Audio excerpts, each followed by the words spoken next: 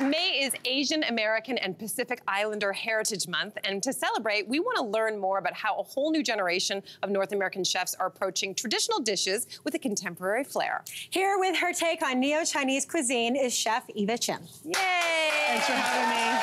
Welcome back, Eva. Thanks for having me. Uh, this spread looks incredible, and we can't wait to dive in. But first, tell us what is neo-Chinese cuisine? So, you know, neo-Chinese cuisine basically all started in the past couple of years when all of these amazing Canadian, American, European-born Chinese chefs who come back from their travels are reinventing Chinese cuisine, whether it's taking off nostalgia, memories, all our essentials from traveling, everything we've learned from European kitchens. We are trying to show the future and the progression of what Chinese cuisine could be. Love it. Love it. Okay, Eva, let's get started. Uh, this looks so delicious. Here we have Hong Kong toast bites. What makes this so unique? So first of all, this started from Hong Kong Cafe, which is a product of British colonization. Basically, you take two pieces of uh, white bread and you sandwich it either with coconut jam, with peanut butter, or with condensed milk, and then you deep fry it in a egg and Oh uh, custard batter. Oh, wow decadent. Okay, so this is gorgeous.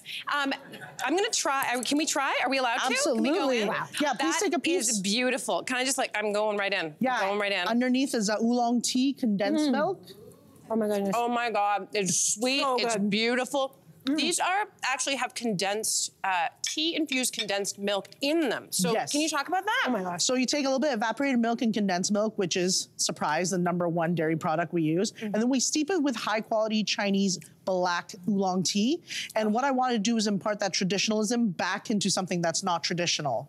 It's so good. I mean, this is. I love that we started here. We started with dessert, basically, right? Yeah. yeah, you can't go back to any other type of French toast once you've had it deep fried. No. Okay, so let's talk about the next dish. It's your turnip mochi cake. I haven't had mochi with turnip. I don't know, is it sweet? Is it savory? What is it? Like? Most of the time you hear mochi, it's sweet, but mm-hmm. in this instance, it's savory. This dish is a play on dim sum classic. We've all had pan-fried turnip cake and we've all had this football-shaped fritter called ham soy gok. Mm-hmm. And I wanted to marry it together to have that same chewy texture. And so it's a turnip cake with a little bit of glutinous rice flour in it. Okay. So it's sticky, it's salty, and you dip in a little bit of a garlic chili sauce. is there mochi in it? There's mochi in it. Okay. Okay, I'm, I'm going with both. I'm, I'm going in. Yes, Okay. that's how you oh have my it. God. Oh my gosh. Don't judge. Don't judge Oh, my wow. use. How is it? It's amazing. Oh my I could eat this God. whole thing. Just, just enough soft and chewy at the same time. That's the beauty of mochi. I Wow. love this. Same. This is uh, uh, uh, so good. This is good because you are not very um, adventuresome. And I love this. This You- is yeah, incredible. this is Yeah. amazing. Yeah. So Wow. good. Okay, so uh, next up, you've brought us a shrimp wonton toast. Yeah, so this is the this is the product of the silly antics between me and my father. Yeah. When we go out for dim sum, he really likes having fried shrimp toast, which is a toast uh, filled with shrimp mousse and encased in sesame seeds. I really like deep fried shrimp wontons, but we can never finish it on our own. So one day at home, we married two ideas together. So in the bottom, there's toast, and then you see the shrimp mousse and sesame seeds. Okay. And then we're going to cut through the crunch of the wonton skin. Can you hear that? It was mm-hmm. good. Okay. Okay, so you want us to put drizzle a little bit of lemon on this first, correct? Yeah, a little bit of lemon. It gives it a freshness. Pick it up with the lettuce, and it there should be this fresh crunch together with a so little bit of carbs. Oh, hi, hold on. Oh, I can uh-huh. hear your crunch too. I love an auditory. It's like an ASMR Yes. sensual experience. And I think this is beautiful. It's bright. It's crunchy. It's like, uh, would you have this for any time of day? Lunch? yeah, it could be an afternoon snack. It could be a, a morning breakfast, honestly, with fried eggs. I've still got the heat kicking from the mochi. it's a little bit of that. It's so Just good. numbing your mouth a bit. How do you ensure that the crunch that we have at, do we get that crunch at home? Do we fry them? Do we bake them? What do we do? It's a little bit of both. So you do deep fry uh, in a shallow pan the wonton skin side, and then after that you flip it and you finish it in the oven. Okay. So you have a little bit of both. You can That's also great. do this in an air fryer at home. All right. All right, well, let's get to the last one. Last but not least, the epic burger, the Char Siu Smash Burger. Uh, what makes this so special?